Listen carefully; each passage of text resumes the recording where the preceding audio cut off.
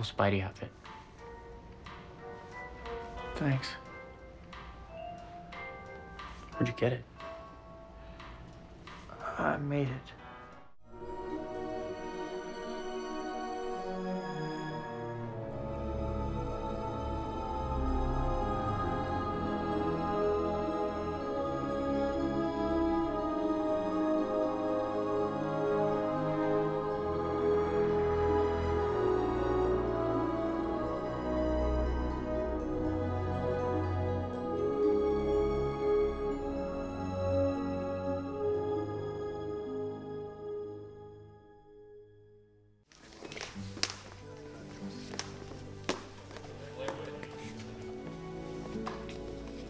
The Spider-Man that Jim Acheson created for this movie is very similar to the one he created in the first movie. At least it will seem that way to the audience. This second costume, while it has details that are different, and the colors are slightly different, I mean, you need to be a real enthusiast to spot the differences. It's a great opportunity to, to, to have a go at something again. I mean, this costume was probably the most difficult thing I've ever, it looks, it should look very simple and slightly naive. Here we were trying to do something which was about really uh, an acrobat who had this unbelievable kinetic, you know, spiraling ability. So it had to be a very flexible thing. We went through a huge, long, circular trip in terms of developing the, the costume of Spider-Man. And over a six month period, we came back to believing that we had to sort of respect the icon. And in fact, the closer and more truthful we, we were to, to the image of Spidey, as long as it moved properly and it didn't wrinkle too much and it, the stuntmen were able to do their somersaults and the CGI people could, could recreate it, then that was the way to go. This time we're making 35 suits. and we have, we've developed a new way of making them with a, a, a sublimation printing process, which isn't quite as good as the silkscreen process, but um, we save a bit of money and we save a lot of time. The first thing to do is always employ people that are cleverer than you. You know, you're only as good as your, your own team. So I have a great assistant called uh, Paul Spadone, who worked with me on the last film. We've been working for the past seven months, eight months now, sort of uh, revisiting Spider-Man's costume from the first film and updating it and enhancing it and um, doing a lot of work with the color of the suit and the printing techniques. The pieces that you're seeing here, we have a whole rack of them, represent a lot of the trial and error of our development and research early on. Um, each one of these pieces is a silkscreen piece of the suit, and each section of the suit um, is hand silkscreened in New York by a team of artists there, and each area of the suit requires about six screens. A lot of what we did this time around was try and bring a greater depth to the color and a richness to the color, and I think that the You'll see that the reds this time around have a, a, a real boldness as well as the blues. There's a spider that we redesigned, that Jim redesigned on the back, that now has a more elegant, flowing um, lines that work in uh, more harmony with the back of Spider-Man. If we went with a wider format, he's even going to get smaller in frame. I mean, the way to photograph him now is like this. And um, there's going to be a lot of room on the sides of the frame, even for a medium close shot of him. Before, you could make his image much bigger. I mean, the problem is exacerbated if we went widescreen. Right. We're not decided on that. That's the potential problem. The next problem is the graphic difference that we're now talking about, making, in this case, it, I remember it blended in exactly. It was easier when a shot had to break it. You had to cut off the legs. Occasionally that happens. To accept. But in this case, because it makes such a dramatic statement against the wider uh, webbing, it's, it's going to be slightly more offensive to break the graphic a little bit because we're saying it stands out, and then we're saying but we're cropping it. So it, it, that's the second Do you factor. wanna try something this size, that design? Well, we're just bringing a smaller one now. Let's just We're getting a reduce- smaller one slightly Well, smaller. we'll see. Let's see if eighty works. Not bad. 75. You getting this, Grant? Yes, I am. Is this enough? Seventy-five looks pretty Not I'm cool. see the whole, zoom back each time and see what the whole. Try eighty.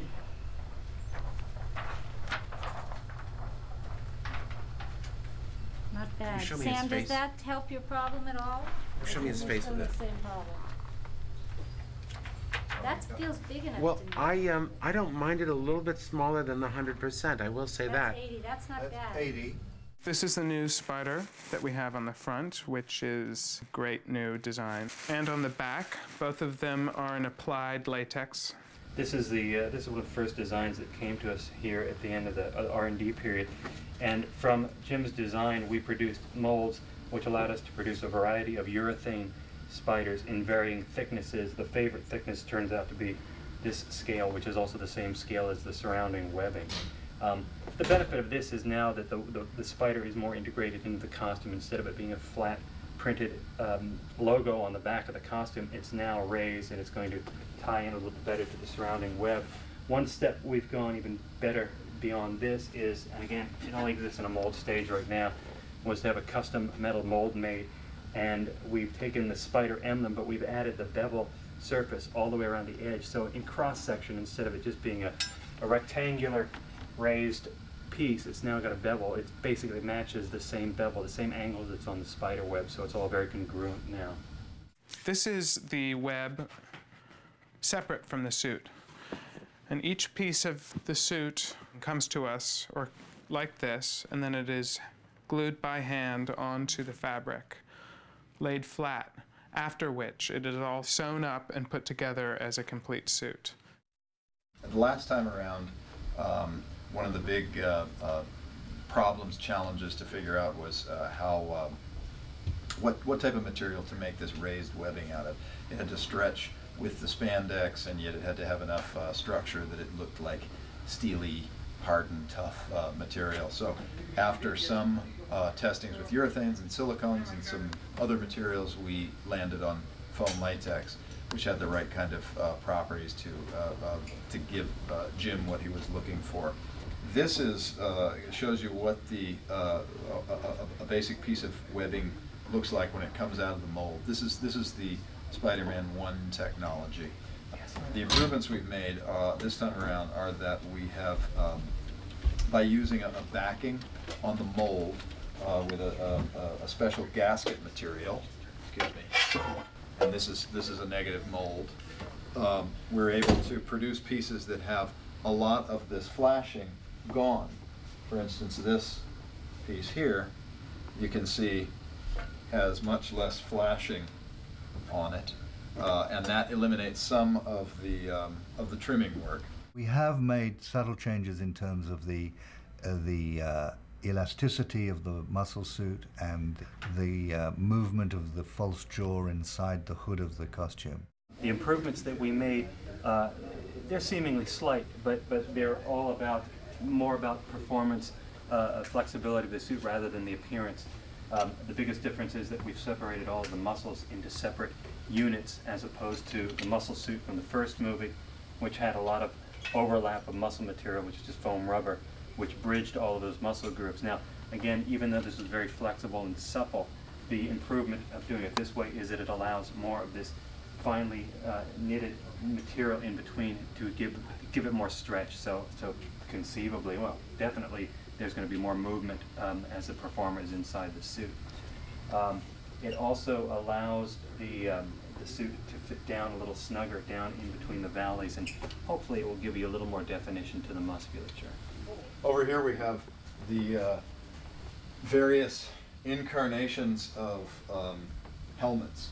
Uh, the idea was to come up, uh, as far as the understructure of the helmet goes, we wanted to come up with a, uh, a new way, a better way to lock uh, the eye frames into the helmet. And we also wanted to add a little bit of flexibility to the jaw. Uh, so all of these were various types that were tried, and prototypes put together. Jim chose a couple uh, from that, and we moved forward uh, off of his uh, uh, selection. Underneath this, if it was not the reveal mask, would go the undershell mask. And the undershell mask goes on before the head gets pulled over to give a little structure and design to it. And uh, changes, uh, these were just made for a little more talking this time. There were some changes to the eyes and how the frames go in, convenience-wise and look-wise. The lenses, um, obviously they don't want to have the lenses on at all times. You want to make it quick and convenient to, uh, to put the lenses in and out. So the lens is a, it's a casted urethane and uh, a few little airbrushing things to it. And what it does is it'll go in to the suit, magnetically lock in. And uh, obviously between that would be the fabric. Another change that was made to the suit this time around was the webbing on the glove, especially on the palm, which was not there on the first Spider-Man. It's drawn in a lot of different ways in the in the comics. Sometimes it's just a series of straight lines running across the hand, other times it's more of a grid, but what we chose to go with is um, this pattern, which comes down here and follows sort of the general natural shape of the hand. By the time we get the fabric in its printed form, to the time it's got all its bits inside and outside, it's uh, three weeks. It's a three. Well, it's actually it's longer than that. It's three to four weeks a suit. There's an entire shop that exclusive that um, sews the suits and glues all of the webbing down. There's another shop with its team of craftsmen fabricating the webs, painting the webs, fabricating the eye lenses, painting the eye lenses. And we also have another shop in New York who's done all the silkscreen printing. So it's it's a huge enterprise with a lot of people spending a lot of time and putting their talents towards it. I think I deserve a little something for this. Give me a 50 bucks. I could get more than that on eBay. It's about finding the essence and supporting the characters. And you know, it's not. It's. I've done a lot of what I'd call the look at me school of design. You know, where you're dressing people in big flashy outfits. This is one flashy outfit that somehow had to kind of work. Looks uncomfortable. It gets kind of itchy. It rides up in the crotch a little bit, too.